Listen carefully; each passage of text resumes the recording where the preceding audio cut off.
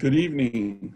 My name is Roger, and it is really a pleasure to have all of you here this evening in order to be able to welcome you to this very important panel. I'm an associate professor in criminology and criminal justice and the director of the Policy Study Center.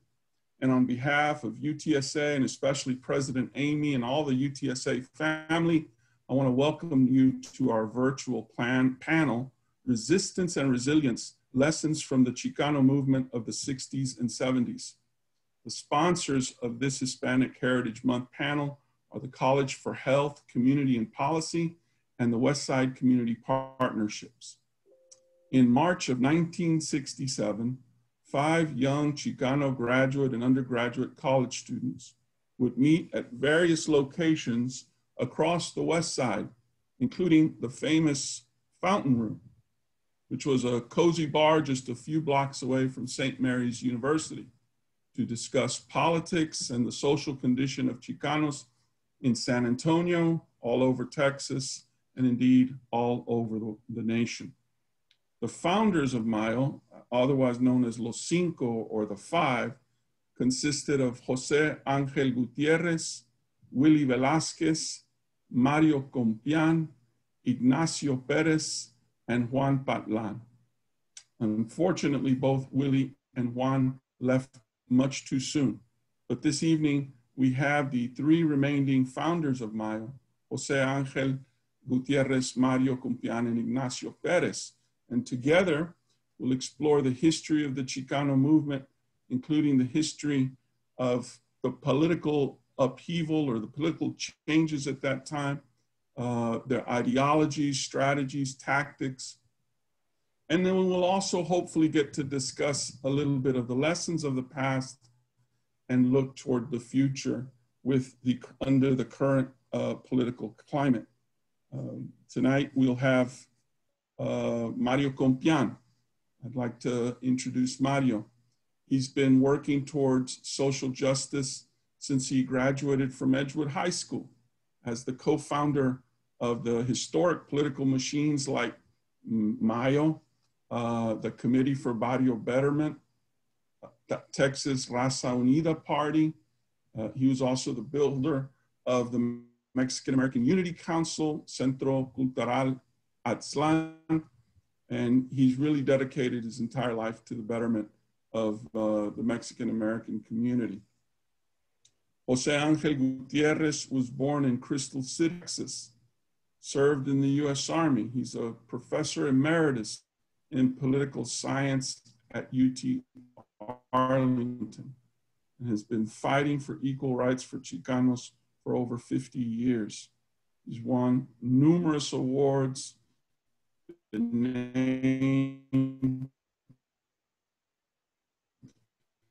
as one of the 100 outstanding, but after uh, uh, some time in academia uh, at a variety of positions, uh, ultimately also graduating from the University of Houston Law School. So it is indeed our aspect that Ignacio Perez will be with us. Ignacio has been working his entire adult life in the field of organizing and educating uh, the disenfranchised, not only in Texas, but really across the nation. And his work has taken him as far as Central America. His goal of empowering Latinas and Latinos has been at the center of his work while building organizations like MAC into community development organization that has strived very hard to address the issues of affordable housing and supporting uh, business development with finance. Oh, the main man. Well, they're not here with us virtually. I do want to say you know, Willie Velasquez presente, Juan Patlan presente. Uh, we're also very fortunate to have two uh, great moderators for this event uh, that I think will have some very distinctive perspectives. The first is Juliana Rodriguez.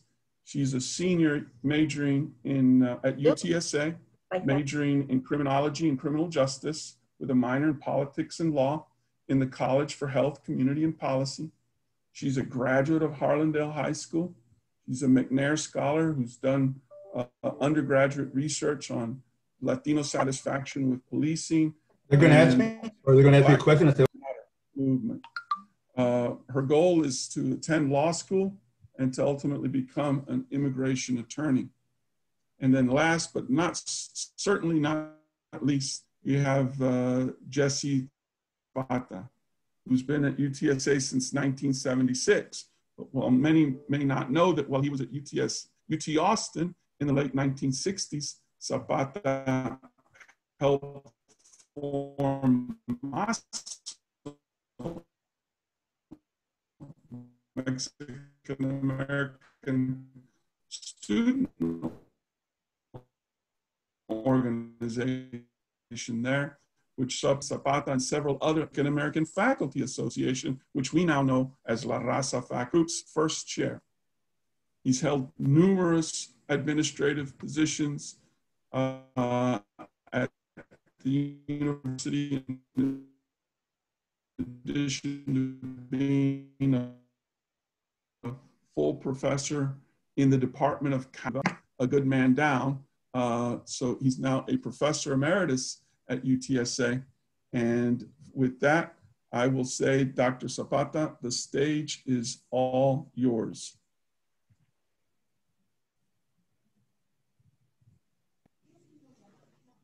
Roger, thank you very much for that great introduction. Um, and I'd like to uh, say that Juliana and I are very pleased to be moderators for this panel. Uh, all three of you are people that I have admired and respected for many years. Um, we'll dive right into the questions so that we don't uh, take up too much more time. We obviously have a limited amount of time, so we do need to do that. Mario, the first question goes to you. Um, and I don't need to insult you and the others. Many, many of our viewers tonight were not born when Mayo was Christians that led to the creation of Mayo. And again, let me remind all the panelists that we have a limited, limited amount of time. And while I understand that any one of these questions could take hours to discuss, please limit yourself to some degree anyway. Mario? Thank you, Jesse. Uh, thank you, Roger, and uh, the rest of the crew. Thank you, Juliana.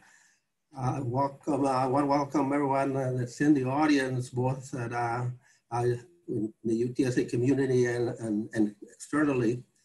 Uh, it's a great pleasure to be able to share this kind of history, talk about the history that, that we made as young activists. And uh, so uh, I'm uh, pleased to be able to uh, share that, that history. As since I just uh, a few days ago turned 80, and I, so all I'm glad that I'm 80. And, and secondly, of course, I said, glad that I'm able to to share the history with, with you. On to your question, uh, conditions that, were prevalent at the time in, in uh, not only in San Antonio, in the west and south side barrios, the east side, the, but elsewhere in South Texas, throughout the state where, where Chicanos communities were at. And this is, what is that poverty was prevalent. Uh, many of our families are, are people experiencing poverty, uh, high unemployment rates. Okay. And of course, in um, the, uh, in terms of how uh, economic opportunity, very low uh, education levels that were that prevented them from from uh, prevented Chicanos from progressing, making social progress. So those are the kinds of conditions that we set out to address to change from uh, Mayo and other organizations later on. Okay, thank you. Juliana? Thank you, Mario, for that um, answer to the question. Um, now, Mayo was instrumental in coordinating the high school walkouts in the late 60s. Those walkouts were successful in energizing people under 18 years old and getting them politically active. How was that done and, and can that be replicated today? Nacho, you're muted. Nacho, you need, you need to unmute.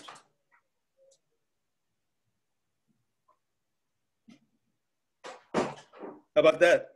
Yes. Okay, now we hear you. Okay, great. Yes. Um, I think it was 60 something, probably 67, 68 when uh, uh, Mayo had an office, small office on Guadalupe Street. And um, there was some sort of, um, not necessarily a, a, a uh, walkout of Lanier High School. Uh, it was more like a stand down. They all walked out of the classroom. Uh, uh, because of people like Joe Bernal and others that were active in talking to the parents of the students to try to resolve the issue. So we met, I met part of some of the students and I said, well, what do you guys want? And they said, well, you know, they looked at each other and they talked about it and said, well, look, let's go write it down. So we went to our Mayo office and we wrote down uh, what the students wanted, whatever, I, something about cheerleaders and, you know, different high school stuff. So uh, uh, that's how we uh, got, we had already, for Mayo, we had already had some small income and uh, this was our almost our first kind of uh, action in the community, so to speak.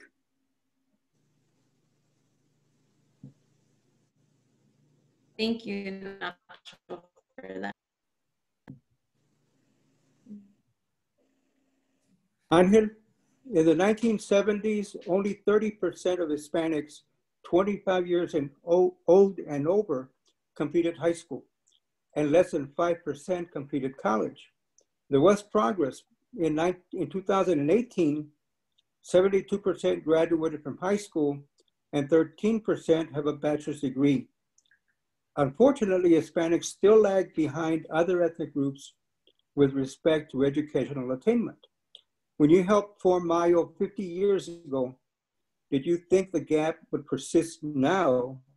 Not what went wrong?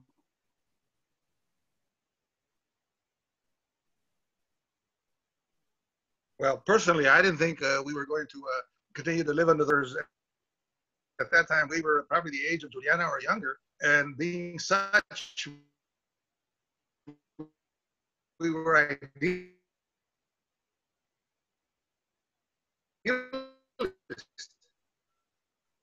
We had no con- put it in context. You know, Texas was one of the last states uh, to desegregate public schools around 57, 58. So 10 years later, we're still having the same problem because we didn't have separate schools, but we were still segregated within the schools. And we did, we're still under English only. Uh, the curriculum then and the curriculum now was still Anglo-centric. All we learn about is them. We never learned about us. Uh, and here we are today, the majority of students in many of the southwestern states, uh, Mexican origin children, and they're still learning about them and not about themselves.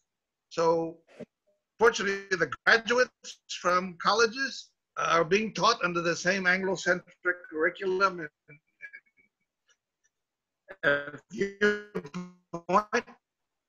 so the ignorant are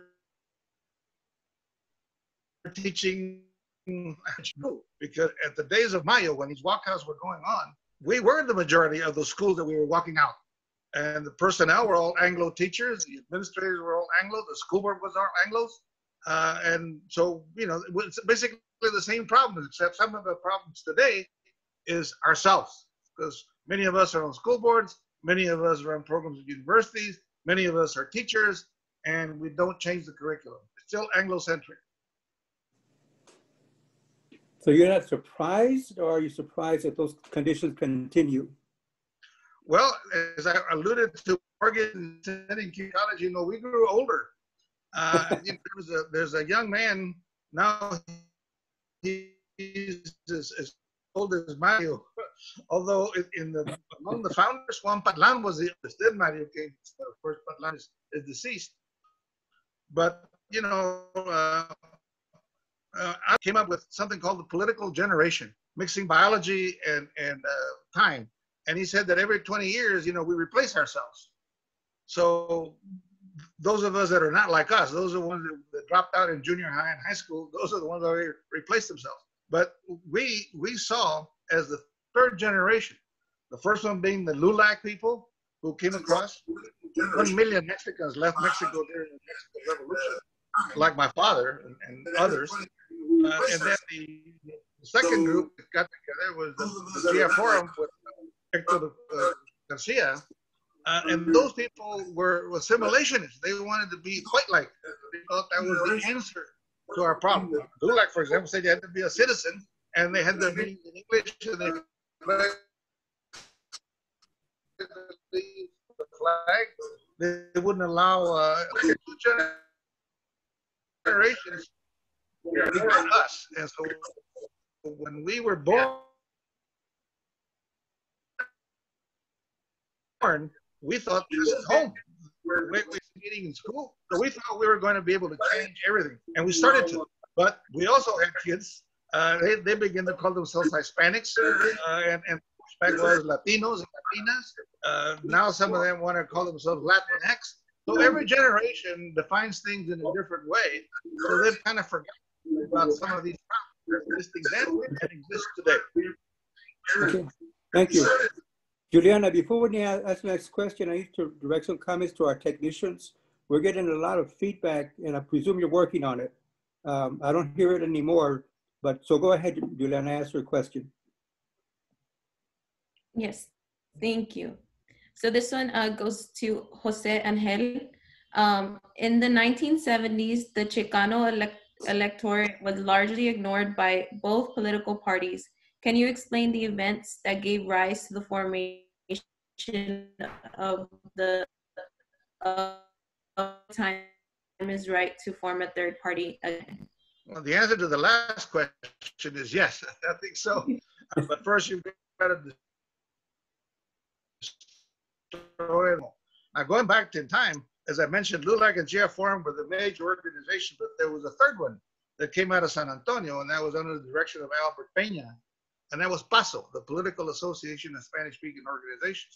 That was the first group that said we are going to be political in, in their name, political association. But again, with the question of identity, they said we were Spanish-speaking, you know, not Mexican origin. Nobody wanted to be Mexican. Nobody still wants to be Mexican.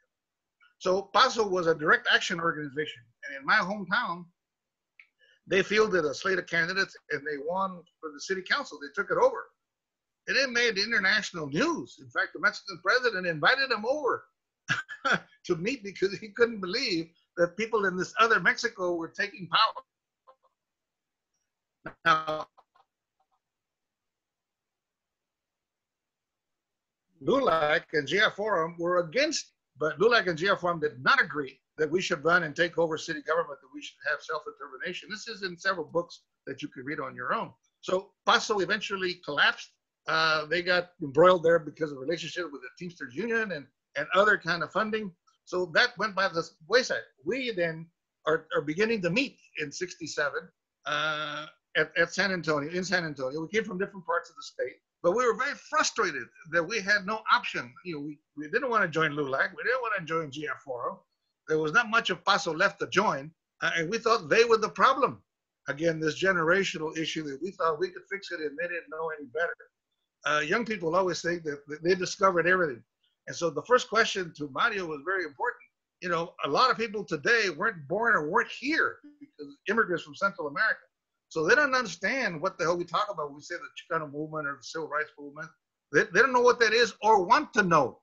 Yet this is this is the foundation of where we are with our civil rights struggles. So you know we, we had those kinds of issues, and George Wallace, to, to get specific now, George Wallace ran for president in 1968, and of course we were not segregationists, but we were bright. You know, we were a third generation of, of, of Mexican origin kids in the U.S we were kind of college educated, some of us, Uh, we had finished school. We, we read their books. We understood their, their theories and their formulas. So we started saying, you know, Wallace has got a good idea, man. He's going to split the vote. He's going to take the, the votes of his base. Same thing Trump is doing in 2016 is going to do it again. So we need to develop our base. So why don't we form our own party? And we started investigating and trying to do that. Nobody except Juan Cornejo in Crystal City said, I want to do this. But we couldn't get our party organized then. So he ran under the American Party, Wallace for sheriff. Because he lost 16 candidates at 115 right off the bat. Good. Thank you. Nacho, when Mario um, and Angel moved over to La Raza Unida Party and devoted their energy to them, you and Willie focused on voter registration and education. Can you explain why that happened and, and, and how you went about doing your work?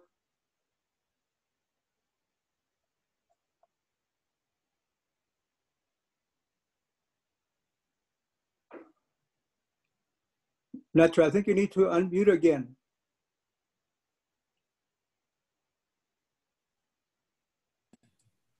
Can you explain why that happened and, and how you went about doing your work?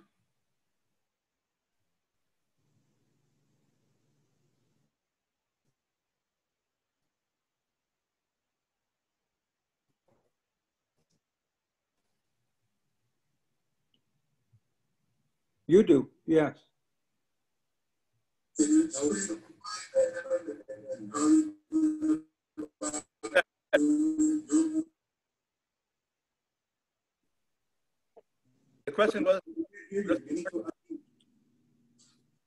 The the question is that you, you and, and Willie focused on voter registration and education. Why was that? well, it was always Willie's intention to look at um, uh, increasing the number of voters to get to voter registration.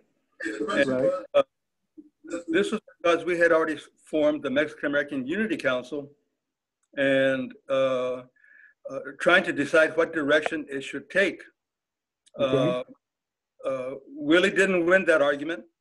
Uh, we decided to continue as a community development organization, focusing on jobs and on uh, development and helping business people grow. Uh, Willie took um, 74 or 73 around there, he formed uh, the Southwest Voter Registration Project. Mhm. Um, uh, the rest is history. He was um, extremely successful and uh, um, uh, to his credit. Okay. What, what, what impact could that effort have today, given the current situation? Well, I'm not as versed as I should be, I suppose, on the actual uh, uh, voter numbers. But anytime you increase your effort in door to door, precinct by precinct, uh, uh, that kind of activity, you, enc- you're encouraging more and more people to be involved. And when they weren't doing anything except maybe listening on TV, this gives them uh, an opportunity to actually see someone and uh, something to join, something concrete. And I believe that's uh, the most important thing that the door-to-door kind of registration does for people that get involved.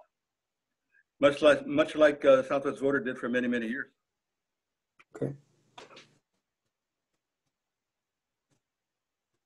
All right, thank you. Thank you. Um, um, it says, we know that Rosie Castro, Choco Mesa, and other women were instrumental in the formation and success of Mayo. Can you elaborate of the role that women played in Mayo? Well, they played almost every kind of role you can think of. You know, when we first started Mayo, uh, our wives, at least Juan Patlan was the only one that was married at the time when we started meeting. Uh, I got married July of 67, so I was the second one. Uh, and then I, re- I don't remember when uh, Nacho got married or Mario, but they got married also. Willie was the last one to get married. So in the, the first wives, you know, Elena, Patlan's wife, and, and Luz, my wife, they were central they came to our meetings. They they they helped raise funds. Uh, they recruited other people, and then we had jobs. As, as Mario alluded to, there was a war on poverty program. Uh, I was a counselor there, and others, you know, Nacho was with the bishops committee, and other, everybody had other different kinds of jobs because we weren't getting paid for any of this. Okay? So we recruited people that liked our rhetoric, and I remember recruiting right off the bat Irma Mireles, who later became our, our, our candidate and leader, and, and still very active. Uh, and, and remember, we had a debate uh, Mhm. against uh, Henry B. Gonzalez, uh, not only at St. Mary's, but at, at Our Lady of the Lake. And from that debate, we recruited Rosie Castro. Uh, those people became active. Uh, and in every community, every chapter we have of Mayo, some did not want women you know, in their group. Others welcomed women. And many of our walkouts were led by women. So they've always played a central role. But, you know, historically, women have always had the problems of being in the, the traditional role or imposed the traditional role of being females, of having babies, taking care of husband and the babies at home. That doesn't leave much time to do community work. More importantly, they weren't. It wasn't seen proper for a woman to be. You know, it's just the women. It just was not the way it was. But we, I think, we opened the door to women's leadership with the Chicano movement. Now, the second thing, and I want to add to see if, if Nacho and Mario agree with me. One of the things that we never get credit for is Mayo is nation building. You know, we created the, the Unity Council, we created the Southwest Council that later became the National Council, which is now Unidos. We created MALDEF. You know, we were not the lawyers, but you know, we were the ones, we were the plaintiffs that they were trying to defend. There was no lawyers to help us. And the voter registration project, we created all these organizations so that we didn't have to do it. In other words, we didn't want to spend time registering voters. Let somebody else do that. We didn't want to have to be defending ourselves in court. Let somebody else do it. And in that sense, we became the nation builders of, of Aztlan. That was one of our concepts, that we are a nation within a nation. Mario, Mario, what, can you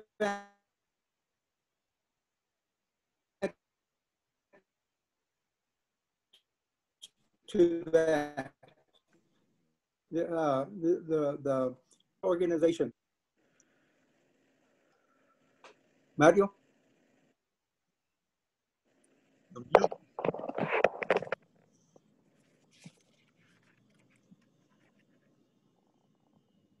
Organizations, uh, those major contributions. What's your take on that? Well, the, I'm not sure that that's the only contribution that we made. No, it's Uh, not, by all means. The legacy is much broader. Uh, the, uh, the- for example, uh, earlier we were talking about the walkouts. Uh, the walkouts What's your uh, were uh, contributed uh, immensely that? The only Mario, turn off YouTube. other areas of leadership. Uh, Earlier, we were talking about the curriculum. Walkouts uh, were the catalyst uh, for the transformation of curriculum,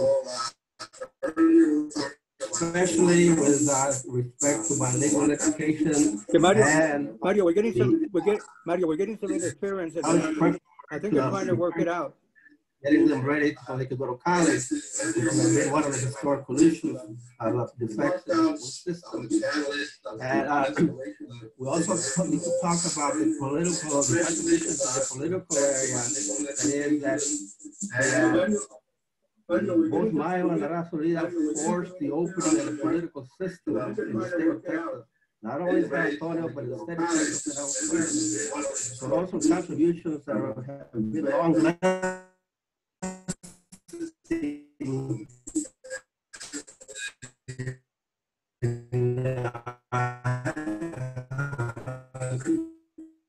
Done a great deal to better uh, were other contributions we made.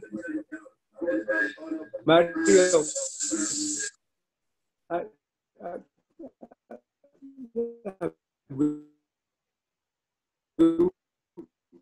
As, well, please. And now you need to unmute again. Mario, you need to unmute.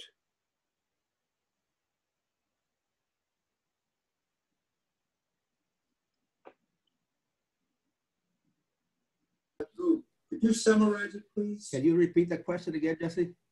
Well, basically, uh, the, the issue was, that, uh, we're building on what Angel said, that Mayo led to the establishment or helped create a lot of different organizations to handle many of the different things that needed to be addressed. And I was just asking for your perspective on that. And you indicated that, that there was much more that Mayo did than these organizations. And I don't think people could hear all of that. We're building on what Angel said, that Mayo led to the establishment or helped create a lot of different organizations to handle many of the different things that needed to be addressed. And I was just asking organizations, and I don't think people could hear all of that. Yes, uh, We're building on what Angel said, that Mayo to the establishment or helped create a you know, uh, the, the movement uh, included uh, groups that addressed uh, many dimensions of the Chicano experience, uh, the cultural, the arts, uh, music, and so on. So there were groups formed around those those uh, uh, those needs, and uh, so the movement was a big umbrella that, that included all of these groups. However, I, I want to emphasize that Mayo and La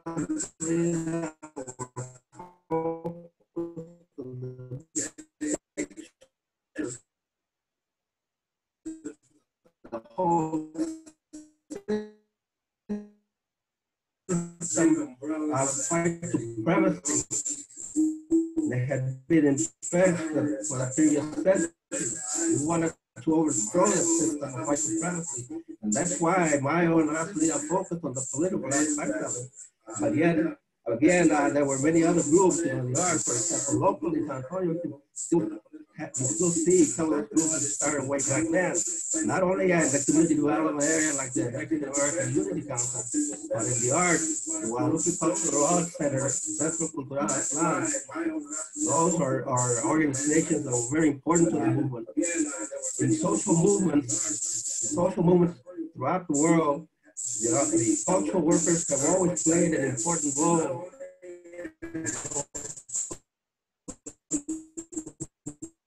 Well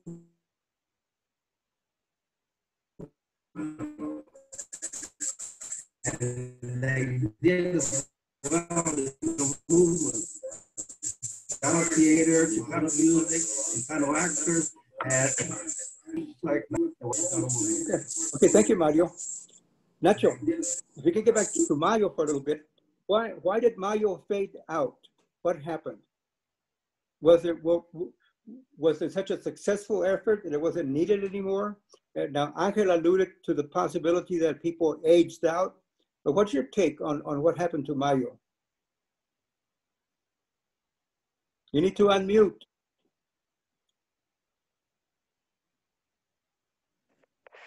Is that to me? Yeah, Well, um, we got busy with other stuff. Mayo was uh, as we looked at it, uh, uh, an organization of organ among those things were I think it was Erasmo and Willie Velasquez. Uh, Johnson, whoever the president was, uh, had a, a conference of Mexican Americans. And that's the first time that I think that um, uh, the term raza unida, in terms of a uh, overall generic term for what we were doing or trying to do, uh, became uh, public. In fact, uh, that was in September. In October, uh, and I think Angel was there, in Sacred Heart Church in El Paso in October. It was the first rump conference of Raza Unida. And uh, uh, things just snowballed from there. Uh, Ford Foundation had given African American groups money in the East Coast. Because of stuff like this, uh, uh, they uh, heard about uh, people here in the Southwest, and people formed the Southwest Council of La Raza in Phoenix a, a lot of our, our Southwestern leaders. And uh, Mexican American Unity Council actually incorporated in order to be able to uh, receive uh, non, uh, uh, funding as a nonprofit to, to uh, carry out its programs. So, so many things are going on simultaneously in 67 and 68 that it just, it's hard to, it was hard to keep up. It was impossible for us to be involved or take leadership roles. Other people took those roles and moved forward. Okay. Uh, Angel, in the 2016 presidential election, 28% of Hispanics voted for Donald Trump. Recent polling suggests that those numbers might be higher in 2000. Thinkable, at least I think it was, that that, that largest share of Hispanics could support a candidate like Trump that espouses harsh anti-immigrant rhetoric. What has happened to the Hispanic electorate? It's our own. It's our own delusional thinking. because you know we, we we pride ourselves that we're Hispanics, uh, that we're Latinos, and that we're 60 million, and we're this and we're that. Just count the Mexican origin people. Okay, we are 64% of this larger group. If you do that, you begin to understand that's not who that 25% is that voted for Trump. Those are the Cubans. And yet we're forced to embrace them as if they're our, our kind. They may be from our Spanish speaking country, but they're not like us. They're not our kind. Let's talk about political math and why they're so important and why Trump is so focused on Florida, for example. Republicans have you know an equal number of both more or less five and five. go to the other side. Now there's seven. It isn't two because if there's seven here and you make up the two that you lost, you're still losing. Even if you get one more and get six, you're still losing. And if you get one more, which means four, you're just tied. So losing one vote is actually like four in political math. It's not the same thing as two and two is four and so on. But we don't understand that.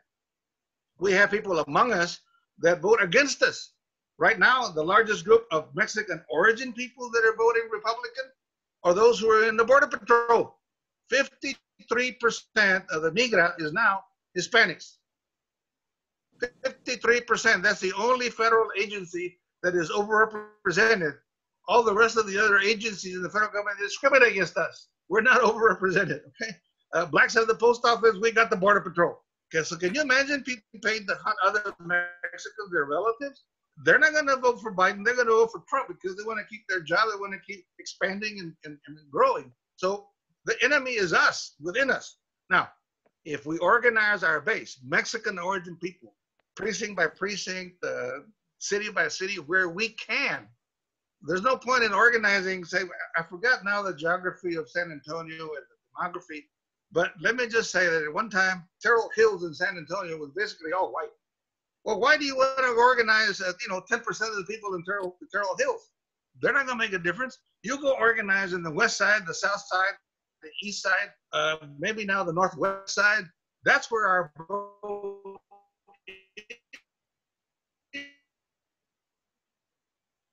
uh,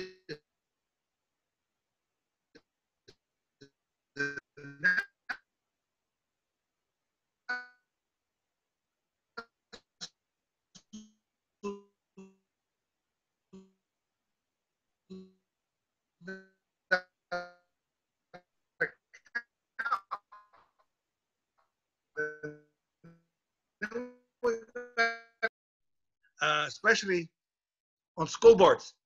Uh, I think the median age is uh, median education is about sixth grade. So how is a school board member going to take on a superintendent? Besides, most of our superintendents are Anglos across across the 1,600 some odd school districts in the state. So they just simply go along with whatever the person is, tells them that they're going to do. Uh, we do not have competent, capable, visionary uh, organizations. Now, uh, adding to what Mario and, and Nacho were saying,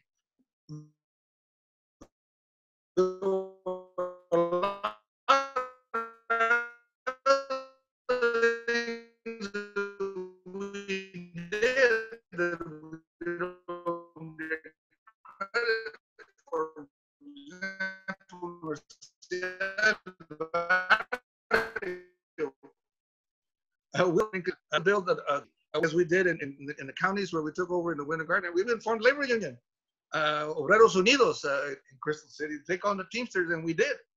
Uh, and throughout the south part of Texas, we organized a lot of community-based organizations, all ending with the word Unidos. Mexicanos Unidos, Ciudadanos Unidos, Familias Unidas, all over the Southwest in, in Texas, okay, and into South Texas. So we were very successful in many, many things, and that nation building is not uh, something that we get credit for. Okay, could you tell us how you really feel? I wish I was 26. I still live up here, I want to do this again because I have unfinished business. Juliana, um, there's a one last question uh, that number 10. I, I, I, wish that you would ask that, and then we'll open it up to the, to the panel to express any other thoughts that you might have. And then I believe that we have some time for question and answers, for questions rather, from the viewing audience. So uh, Juliana, uh, that's probably yes. So um, it says, as you look around contemporary political movements, are there any that remind you of Mayo?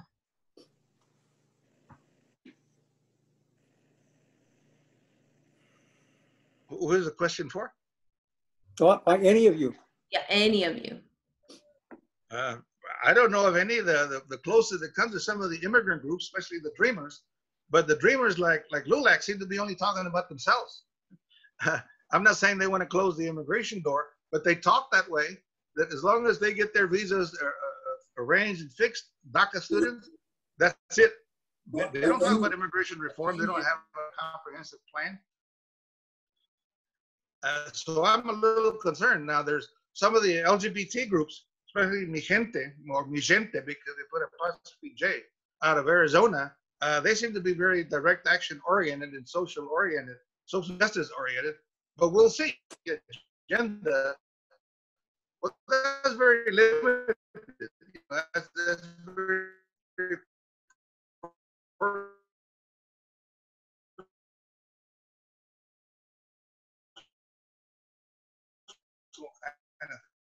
do you want to add that? Because they say simply with the LGBT agenda, well, that's very limited. You know, that's, that's very personal kind of thing. Uh, that's only percent of our population as far as I can tell. They may not grow.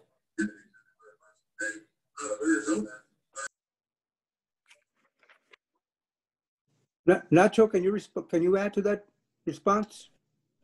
I'm sorry. Go ahead, Jesse. Well, can you add to Angel's response? Are there any um, um, organizations currently that, that, that might um, be indicative that, that they are mimic, mimicking or following Mayo as an example?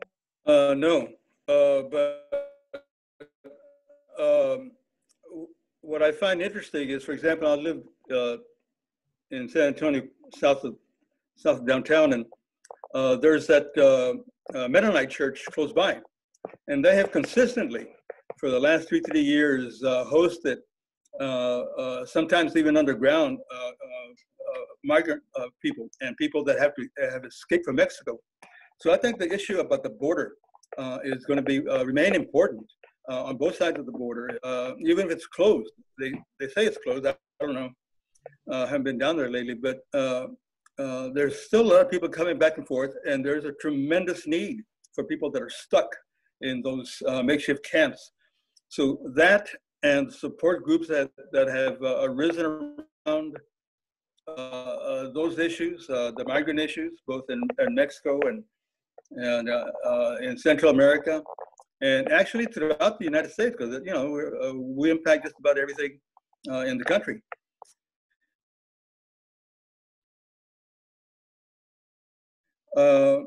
so from that regard, I agree. People out there uh, maybe doing a little different uh, different way, maybe more single issue oriented, and yeah, that- as, as long as they move forward. I think they will encourage others. They, they put uh, uh, my uh, co-moderator on the spot here, even though she's not on the panel.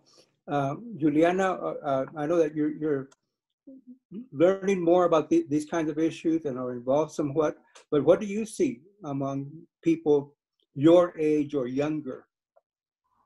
Um, as far as I can think of right now, I mean, um, I know it, it's probably, you know, the Black Lives Matter movement is something similar that I see um, to kind of like the mile and like bringing, you know, attention to the to the problems that are that are happening in the political atmosphere that we are right now.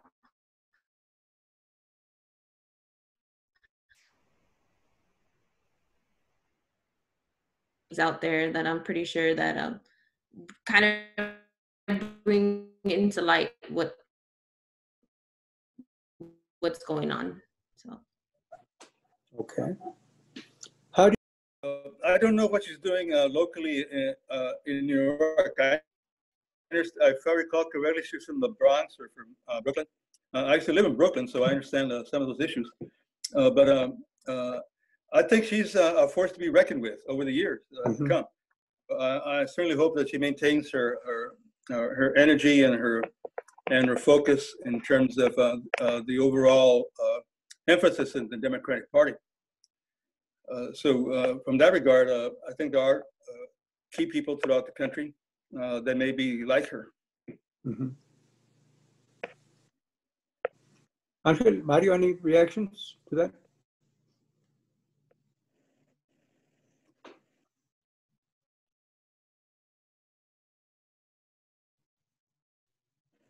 No. No, you know, Rican. She's going to respond to to them uh, and Puerto Rican issues. Now, in terms of all this Hispanic community, Puerto Ricans vote more like Mexican origin people than any other group. The Cubans are the ones that vote against us. Uh, some Central Americans do the same thing, especially the old school Nicaraguans, the ones from the Somoza camp and so on, uh, the elites, the oligarchs. So she's she's going to do well because she's doing well for Puerto Ricans. and Puerto Ricans are very similar to us. Now we have our own congressman. You know, some that came out of Raza Unida. Raul Grijalva came out of the Raza Unida party in South Tucson uh, the, the, well the, the, Castro brothers, but but they they they they never were in the Raza Unida, but they, they came out of Raza Unida. Mom Rosie, uh, and, and, and over in Harlandale, you know, Ciro Rodriguez came out of the Raza Unida party. Uh, yeah. he, he was in for some time. So we have had some members of Congress uh, that do represent our interests, but you know, they it's one vote out of 435. So it's better to control your city and your county it is to have a member of Congress. Uh, uh, some technical difficulties in hearing you. Let's try again. Um, ah, un unmute.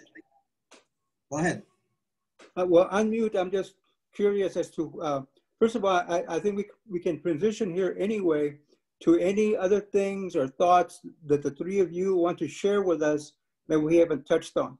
So we'll let you go. It sounds like the technical issues are solved.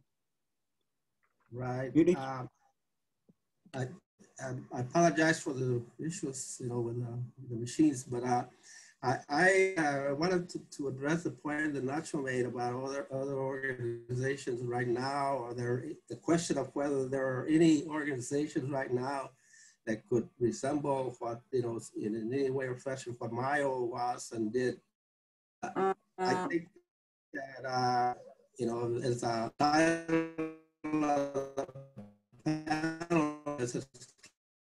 lessons of the Chicano movement. One of the lessons that I see very clear is that the uh, the need for organizing never stops. It has to continue. You know, when we started, I started. I, stated, I stated earlier that uh, we set out to address the question of the, the system of white supremacy. We wanted to overthrow it and it was necessary to organize around that, empower our people, organize our base, and go after what we wanted.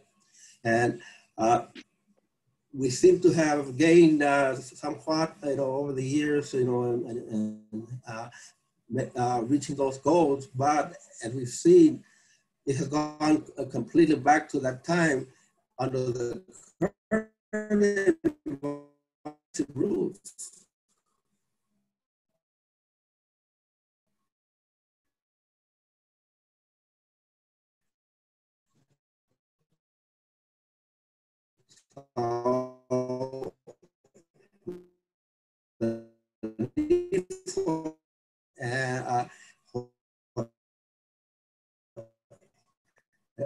as elders, we need to do everything. We go out and organize themselves, organize communities, and go on to challenge the powers, the system that, that is trying to put us down again. So again, uh, the organizing can never stop. It must go on. We must continually develop new leaders and uh, we must inspire the younger generations to be active, as active as we were at that time. Okay. In, in that light, uh, Angel and, and, and, Nacho, are there any other, other final thoughts that you might want to share? I think there's a couple of points that we haven't brought up. Uh, Mayo, uh, and then morphing into the Raza Unida Party and all its other affiliates, we internationalized the Chicano movement. We traveled to China, to Cuba, to Quebec and Canada, to Spain, to Palestine. Uh, we, we traveled to a good number of countries in the world explaining what the Chicano movement was about and establishing relationships. Uh, later, as we got into elective office, uh, we were able to develop programs, you know, especially with, with Mexico. Uh, and, and, you know, this, this is an area that gets neglected somewhat. Now, on the demise of Mayo, I wanted to add, you know, we did have a, a, a secondary and tertiary leadership group within Mayo. For example, uh, uh, those of us that were the founders, we didn't be, become the first and last Mayo leaders. Uh, you know, we had Carlos Guerra, who, who, who developed uh, the Texas Institute for Educational Development. That was another nonprofit. Uh, we had Patlan, who, who, well, when he was trying to get out of the Unity Council, uh, also created the Committee for Rural Democracy. Uh, we had uh, Loera, Alberto Loera, who also was a, a leader of, of, the, of Mayo at one, one time. Uh, and these newsletters that each chapter produced uh, and the central office produced exist in some libraries today, I, I, is my wish. But, you know, we, we even don't have a database of all the walkouts that we ever did. Uh, because we our, our, our, scholars and our research institutes don't seem to focus on, on want to count them and, and, identify them yet they're there. Uh, so these are some areas that we did not uh, discuss. Well maybe uh, we, we can impose on the university and on roger enriquez to have a follow-up to this next year. But, you mind uh, jesse? Nacho? Can i mention something before you go before we turn yeah, yeah we're not gone yet yeah Go ahead. Yeah, uh, there's a issue of arts and culture that we were very involved in also. Uh, Centro Cultural Aztlán, we formed that. Uh, uh, we were uh, supportive of uh, things like Bilingual Bicultural Mass Media Coalition out of California. Those things, even in the early days of the Guadalupe Cultural Arts Center. So I think the arts and culture and the mass media uh, are important issues that we need to look at as we uh, as we move forward as a community. Okay. As, as, as the three of you survey the, the, the current political social environment, what Chicano leaders stand out to you that impress Us. you? Us. Us. there are none. None? Uh, yeah, uh, you, know, you know, that, that's a really uh, important question, Jesse. Uh, we, we do have the leaders, yes, but they don't have the, the national staff that's required. Fortunately, you know, that's a very real uh, uh, issue for, for our community is that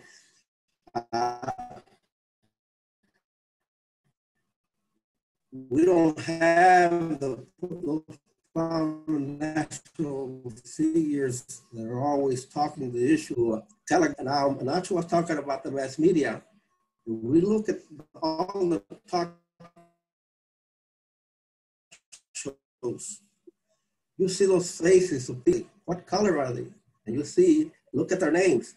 Very few of them are, are have a surname. Very few look like us. So that's a key area that needs to be addressed. Uh, we talked about uh, develop somehow or other we never developed the media figures that could be out there. We don't have anyone that has a prime time show on the national networks, on the cable TV. So that is a missing uh, element that, that, that, that we need so that our base could be reached and organized, if not by day-to-day -day action, at least by, by the message that's put across through the mass media. That is a very important area that we need to address as well as um, the, the, the, lack of, of power that we've been um, um, missing you know, this few years. So national leaders, we don't have any. In my view, we don't have any Chicano or Latino national leaders, except for the up and coming set, uh, uh, and your response to your question about AOC.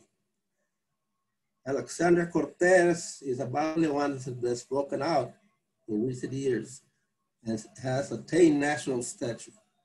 So okay. we need more. We need that can be and reach that state, that status, so that they can become influential people. All we have to point, you know, when, excuse me, when, whenever people talk about uh, who are the leaders, uh, Latino leaders, they always try out business figures, business people, or movie stars. That's it. But they are not necessarily the ones that have uh, the interest of the community, and, and, and, they don't work for that interest, towards that interest they work for themselves. And that's the issue that we okay. need to develop leaders, and we started out way back, leaders who not only have the perspective, but have the commitment that lasts a lifetime to be able to say, I work for my community, I work for the people, and nobody else. Okay, thank you, Mario. We have a couple of minutes for some Jesse. final thoughts. Yes, yes sir. Wait for you. Go ahead. Uh, I'd be remiss but not saying a little bit about uh, uh, Central America and Mexico and mm -hmm. South America as it relates to us. Willie sent me to Nicaragua in 1980. And uh, in the 90s, Southwest Voter under Antonio and Andy, uh, uh, we spent about five, six years in Mexico and, and in Central America. I lived in El Salvador, taking the lessons we learned in voter registration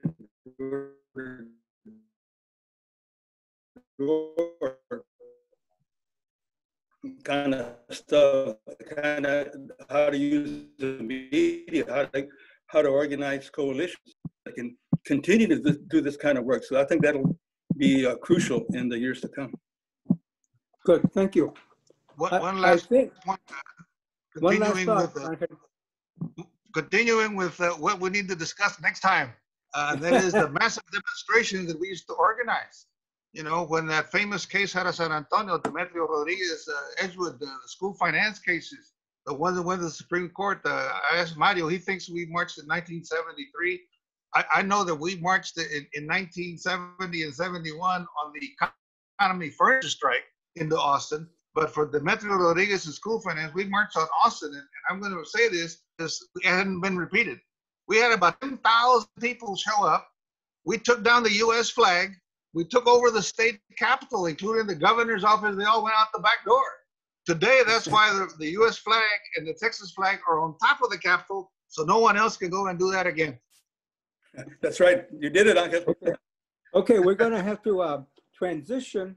Uh, we are uh, going to open uh, the door for people who have been viewing, and I hope that there are viewers out there um, who might want to ask some questions.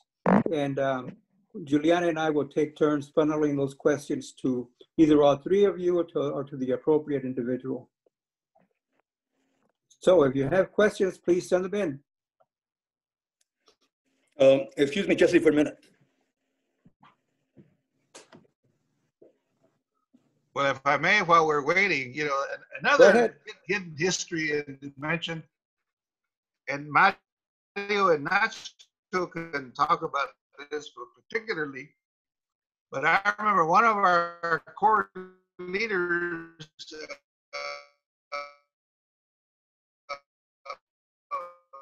uh, uh, the gringo as the real enemy. That's who we had to eliminate and not each other. So that's why at that particular time there was peace in the barrio and we recruited so many people to join Mayo and be active in social orientation causes as opposed to violence against each other. That has not been explored and that has not been discussed, much less documented uh, by by people that have studied what, what we did. You know. Okay.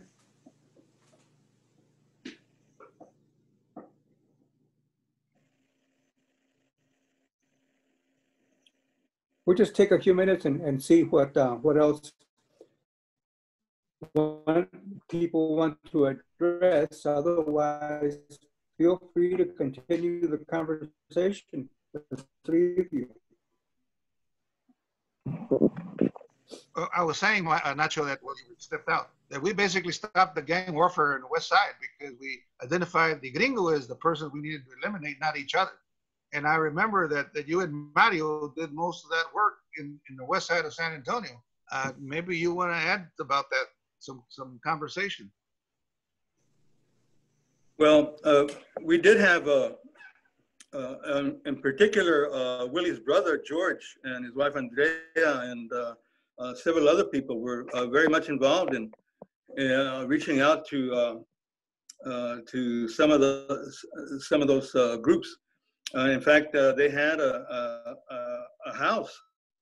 Uh, uh, we were able to rent a house for them and where they could run their programs. So uh, it started to be very successful uh, uh, to the point that uh,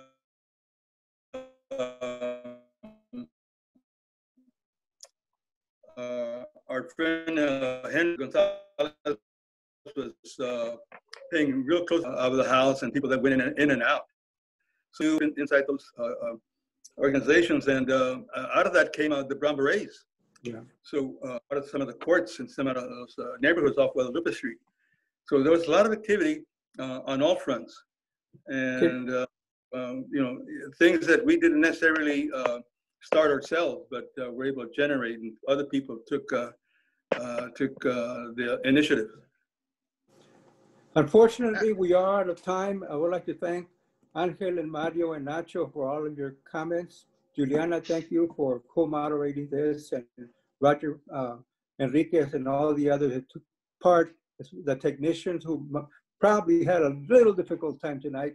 But we will do better next year. We will con- reconvene next year and continue this conversation. So again, thank you very much. Thank you all. Thank you, everybody. Gracias. Thank you.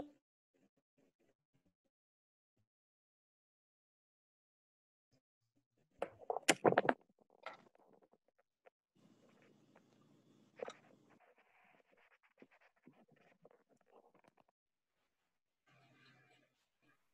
right, everybody, we're cleared. Well, it came out exactly the way we wanted it to come out. So, no, it was good. I mean, the, the substance was all there. I, I, I, I didn't jump immediately onto YouTube, and but I was getting all these messages from people over my cell phone. They were saying there's no sound on YouTube, so I, I don't know what. Yeah, there was a, happened there was a ghost of the machine there, uh, but we, uh, we kind of restarted it and, and it, and it came up, so. These are some of the technical things that sometimes we don't even know what, what happened, right? Uh, I know the Zoom, I know the Zoom meeting on my end, and, uh, cut out a couple of times and restarted magically. So the magic of, of Zoom is that it keeps going, even if it dies out on my side. We were, we were struggling with Yeah, internet I'd be very interested. the whole night. We were, we were, I was struggling. I was getting messages about internet connectivity all through this session. So it might be that in the evening, there's more people on at home. I don't really know what, what that was, but the, uh, the issue of the YouTube, yeah, that's something that we probably have to let everybody know not to be monitoring YouTube and the Zoom at the same time, right? It causes a Yeah. feedback loop. And so un- unfortunately in that moment, we were just trying to struggling to, to, to Yeah. communicate. I'd be interested in, in hearing the audio to the Zoom recording because I'll bet because that was you're talking about being is bam bam bam bam bam. It was like bouncing around like a Yeah. Um, well, I, I have a I have a recording of this, which I'm going to stop now.